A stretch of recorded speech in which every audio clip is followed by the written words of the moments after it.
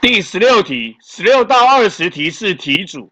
鲁夫一行人在结冰的湖面上打了一个洞，用钓竿钓起一只大鱼。他们用铝箔纸将大鱼包起来，另外又准备了一锅玉米浓汤，一起放在烤肉架上，底下有烧得红彤彤的木炭。经过二十分钟后，香喷喷的大鱼以及热乎乎的玉米浓汤就熟了。鲁夫急着伸手抢吃大鱼，结果手不小心被鱼烫伤了。请回答第十六到二十题。